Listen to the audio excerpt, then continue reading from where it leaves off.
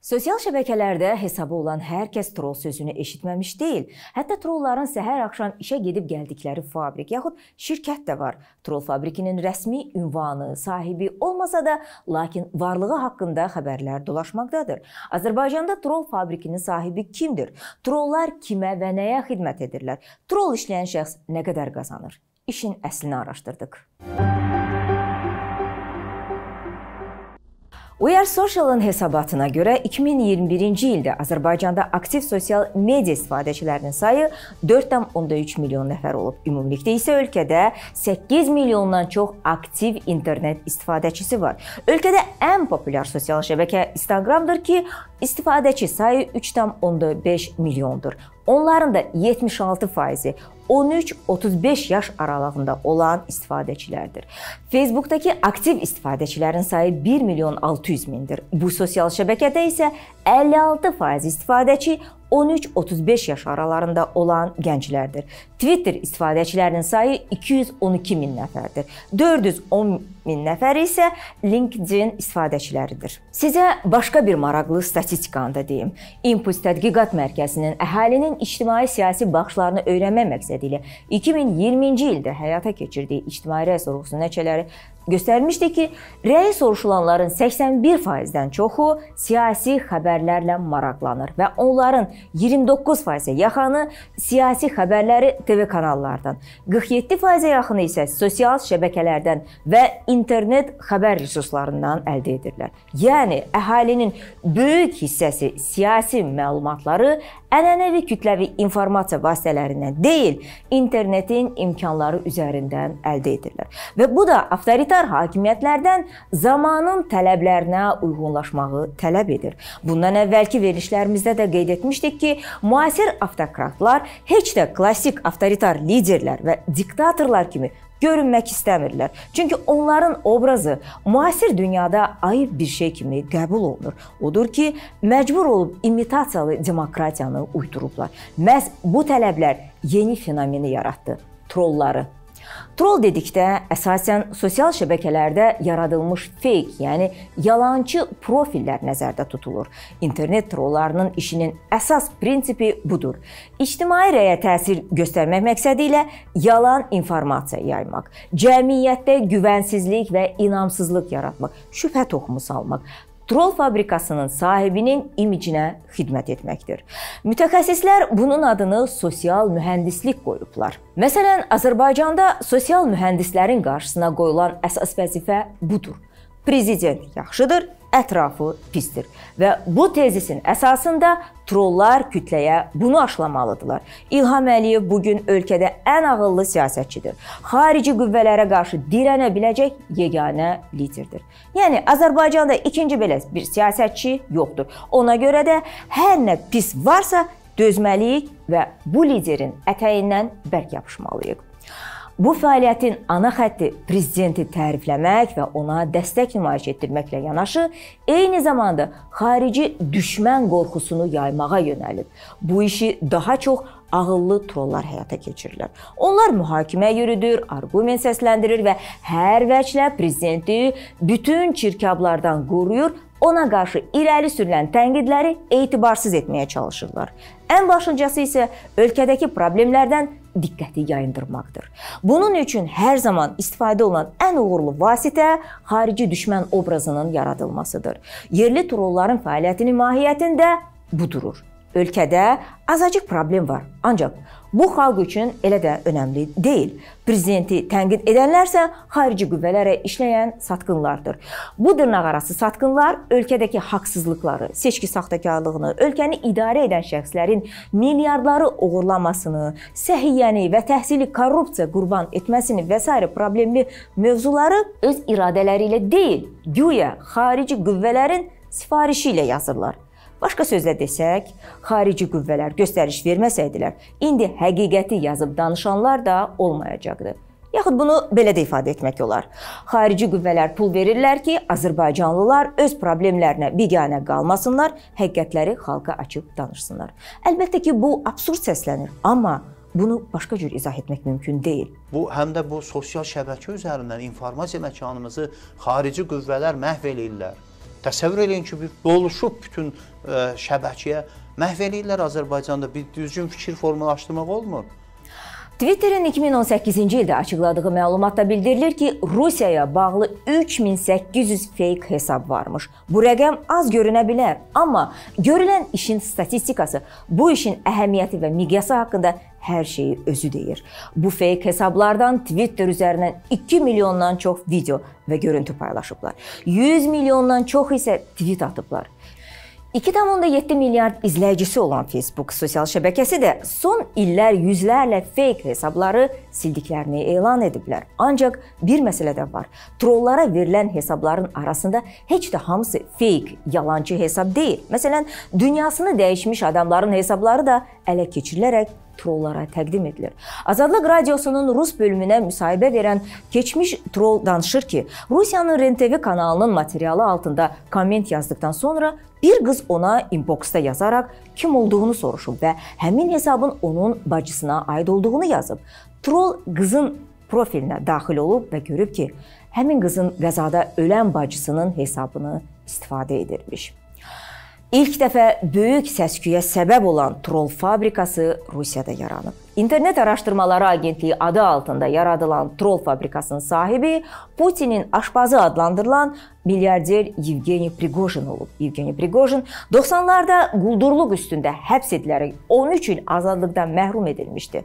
İndi isə Putinin sağ əli hesab edilir. Prigojinin Kreml üçün yaratdığı troll fabrikasının fəaliyyəti təkcə daxili siyasətlə deyil, eyni zamanda xarici siyasəti də əhatə edirdi. Bu şirkətdə siyasi bilgilərlə bağlı mühazirələr oxunur, ideologiya üzrə imtahanlar keçirilirdi. Burada işləyən trollar Putinin nailiyyətləri haqqında, Kremlin Ukraynada və Suriyadakı siyasəti barədə, eləcə də müxalifətin fəaliyyətini gözdən salan kommentlər yazır, müzakirələr açırdılar və bunun müqabilində yaxşı məvacib alırdılar. Az öncə istinad etdiyim Rusiyalı troll müsahibəsində deyir ki, Putinin Avstriya tele radio kompaniyasına müsahibəsindən sonra trollara tapşırılmışdı ki, jurnalistin qeyri-peşəkar olduğunu və mövzulardan məlumatsız olduğunu yazsınlar.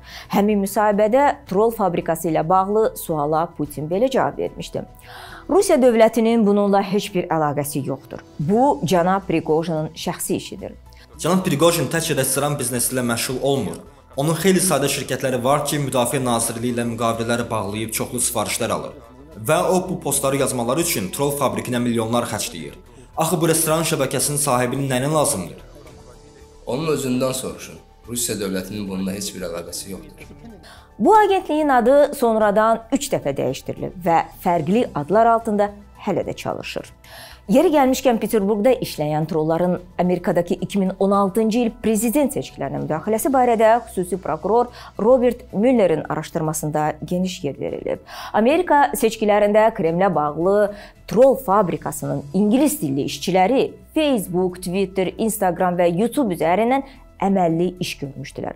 The Washington Post araşdırmaya istinad edərək yazır ki, Rusiyalı trolların məqsədi Amerikalı seçicilər arasında nifaq salmaq, çaşqınlıq yaratmaq və ictimai rəyi Donald Trumpın xeyrinə yönəltmək idi. Rusiyanın hərbi kəşfiyyatı Demokrat Partiyasının serverini yararaq məxfi məlumatları ictimailəşdirdikdən sonra Peterburqdakı troll fabrikası bu məlumatlarla aktiv şəkildə internet resurslarla fəal iş görərək ictimai rəyə ciddi təsir göstərə bilmişdi.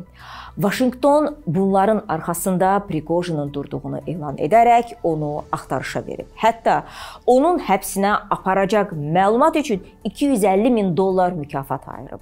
Onu da qeyd edim ki, 2018-ci ildən başlayaraq həm Facebook, həm Twitter dəfələrlə şəbəkələrdən yüzlərlə fake hesabları bağladıklarını elan ediblər. Yer gəlmişkən onu da deyim ki, heç də hər troll yüksək məvacib almır. Ümumiyyətlə, trollar necə fəaliyyət göstərirlər, necə təlimatlandırılırlar və nə qədər məvacib alırlar, bu barədə müxtəlif jurnalist araşdırmalarının və trolluqdan ayrıldıqdan sonra mediaya gizli ötürülən məlumatlar əsasında müəyyən bilgilər əldə edilib. Lakin ilk dəfə troll fabrikasında BBC-nin rus bölməsi olub və müəyyən kadrlar lentə alıb. Müsahibələr də götürülüb.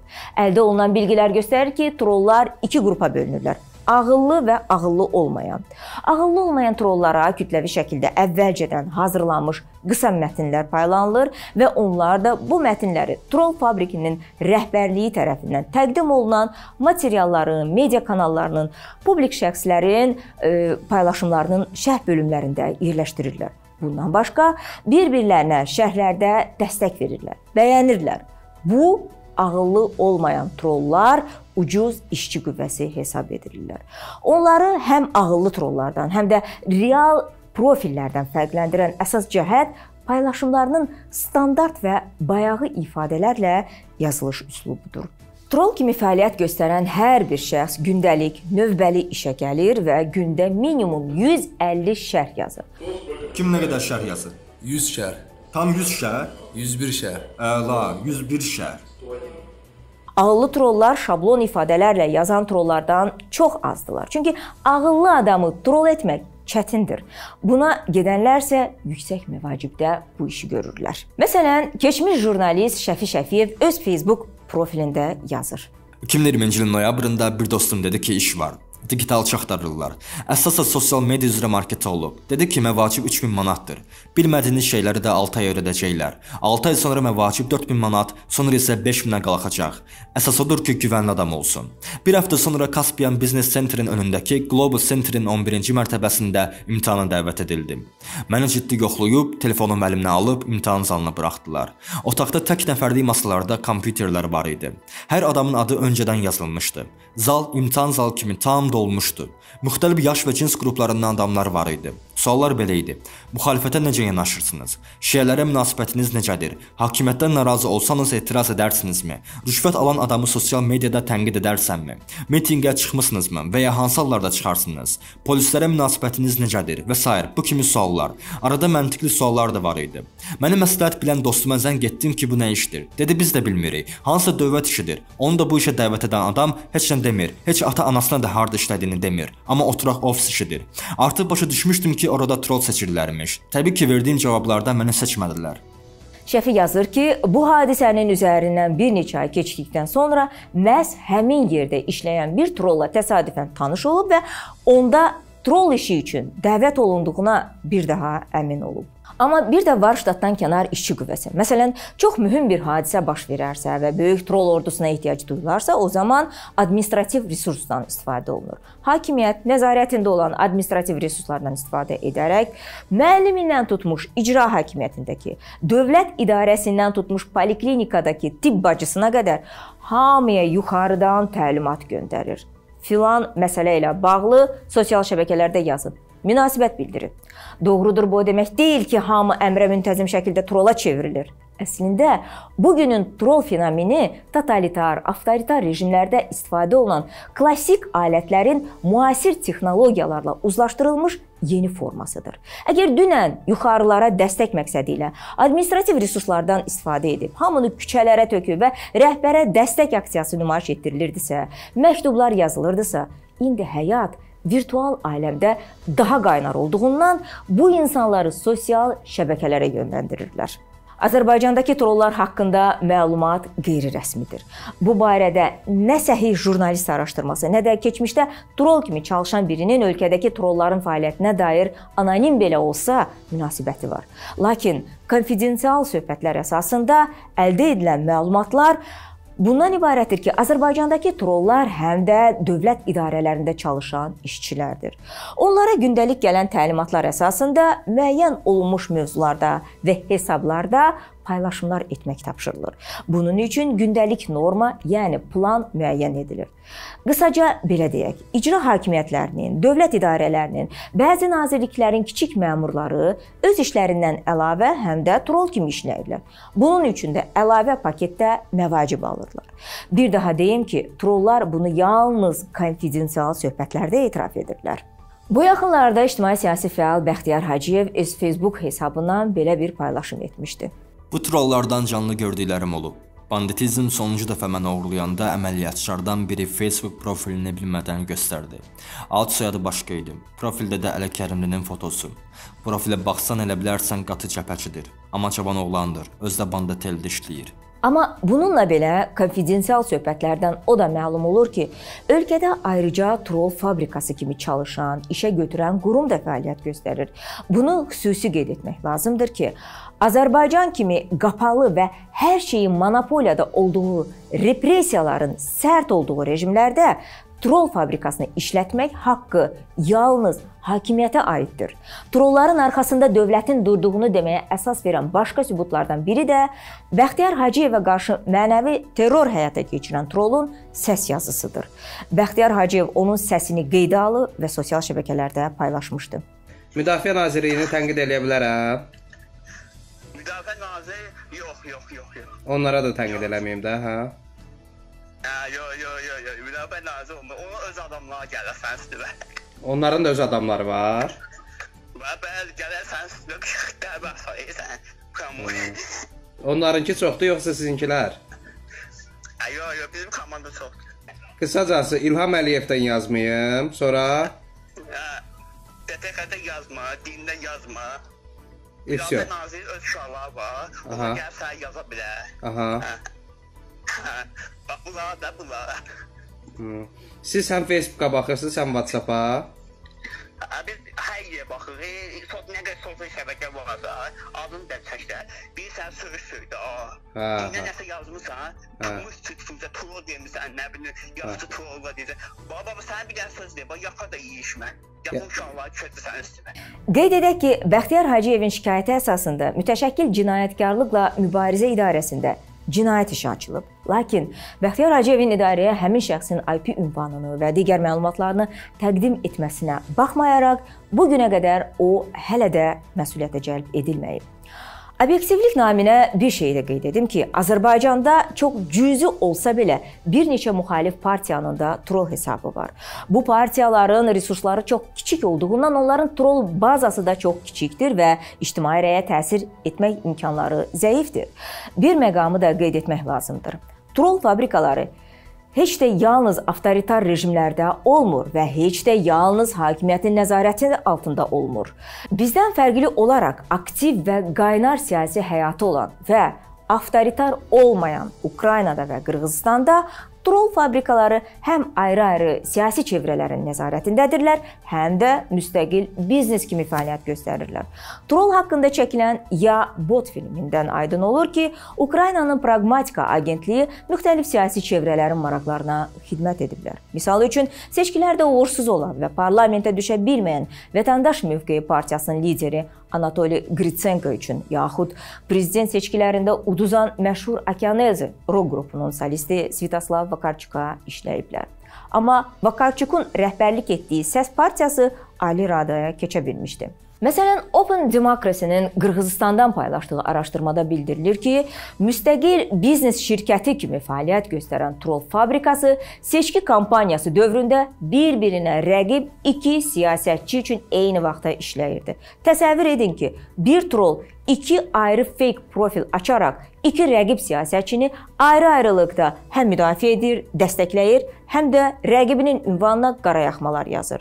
Bu onlar üçün sadəcə biznesdir. Əsas odur ki, siyasətçilər həm özünü dəstəkləmək, həm də rəqibinə qara yaxmaq üçün çoxlu pul verib muzlu işçi qüvvəsi alsınlar. Amma bu siyasətçilər daha troll fabrikində necə prinsipsiz işçilərin olmasından xəbərsizdilər. Qırğızstanda da bizdə olduğu kimi troll fabrikinə yalnız tanışlıq əsasında işə düzəlmək olar. Çünki güvənlilik və məxfilik çox əhəmilidir. Open Democracy-yə müsahibə verən keçmiş trollardan biri danışıb ki, hər ay 200 dollar məvacib alırmış. Qırğızstanın Milli Statistika Komitəsinin məlumatlarına əsasən deyək ki, Qırğızstanda orta aylıq əmək haqqı 214 dollar təşkil edir. Bundan başqa, ölkədəki işsizlərin 47%-i 20-30 yaş aralarında olan gənclərdir. Bizim kimi avtoritar rejimlərdə isə troll fabrikası yaxud troll ordusu yalnız hakimiyyətə aid ola bilər. Hər hansı bir paylaşılan postun, yayılan məqalənin yaxud video materialının altında bu trolların kütləvi şəkildə, hətta absurd olsa belə yazdıqlarının, təhqirlərinin, tənqidlərinin məqsədlərindən biri də budur. Həqiqəti yazıb paylaşan şəxsi yaxud media kanalını təklənmiş və özünü təcrid hissinə qapılmağa vadar etmək. Yəni sizin sayınız azdır. çoxluq belə düşünmür və sizin dedikləriniz heç kimə maraqlı deyil.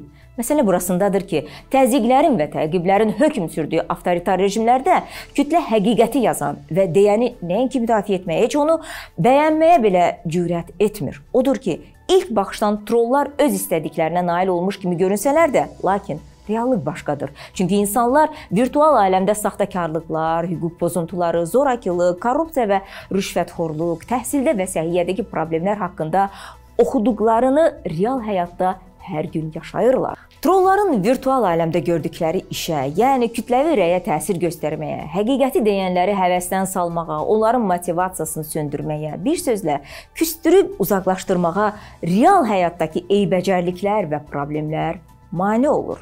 Məsələn, hakimiyyətin sosial mühəndisləri hər zaman onun ziyanına olan mövzuları yaddan çıxarmaq üçün kütlənin diqqətini başqa istiqamətə yönləndirmək üzərində çalışırlar. Buna elə öz gündəlik həyatımızda baş verənlərin nümunəsində baxaq. 10 noyabr 2020-ci ildə Putinlə bəyannamə imzaladıkdan sonra son 2 ildə İlham Əliyev başda olmaqla bütün hakimiyyət təmsilçiləri bu fikrə insanları inandırmağa başladılar ki, Qarabağ münaqişəsi həll olunub, ərazi bütövlüyümüz təmin olunub, tezliklə Xankəndi və digər ərazilər də yurisdiksiyamıza daxil olacaq və sairə bu kimi fikirlər. Bircə qalıb Naxçıvanla Azərbaycanı birləşdirmək. Lakin 31 oktyabr Soçi görüşünün nəticələrini və ondan əvvəl Putinin və Paşinyanın Qarabağla bağlı məlum açıqlamalarını analiz etdikdən sonra işin əsli ortaya çıxır. Bundan əvvəlki verilişlərimizdə də demişdik ki, İlham Əliyev özünün cib siyasətçilərindən, cib mediasından, trollarından çox ağıllıdır. 10 noyabr gecəsi öz imzası ilə təsdiqlədiyi sənəddə Naxçıvandan keçəcək yolu məhz Rusiyanın federal xidmətinin nəzarəti altında olmaq şərti ilə kommunikasiya xətti kimi qəbul etmişdi. Yəni istər dəhliz, istərsə də yol olsun, bunun bizim üçün əhəmiyyəti yoxdur. Orada söz sahibi Rusiya olacaq. Bizlərsə sadəcə yolumuzu qısaltmış olacağıq. Onda sual oluna bilər: bəs niyə İlham Əliyev Zəngəzur dəhlizinin üzərində bu qədər israr edirdi və hətta zorla da olsa bunu reallaşdıracağını deyirdi? Axı İlham Əliyev özü də gözəl anlayır ki, nə İran, nə Qərb əgər Putin şəxsən icazə verməsə, heç Rusiya belə Azərbaycan ordusunun Zəngəzura girməsinə imkan verməyəcək. Deməli, hər şey Rus ordusunun Azərbaycana girməsindən, yuxarı Qarabağın Rusiyaya hədiyyə edilməsindən diqqəti yayındırmaq üçün imiş. Və bu işdə əsas alət yaxud iş görən mediadır, xüsusilə sosial media və troll ordusudur. Trollar hər fürsətdə diqqəti Rus ordusundan və Xankəndindən, Xocalıdan, Əskərandan, orada Azərbaycan yurisdiksiyasını tanımayan Arastunyandan, erməni silahlı birləşmələrindən diqqəti yayındırırlar və onlar da propagandanın əsas işçi qüvvəsidirlər. Hətta indi Zəngəzur keçib arxa plana artıq az qala İranla savaşa başlayacaq deyə qızğın siyasi müzakirələr gedir.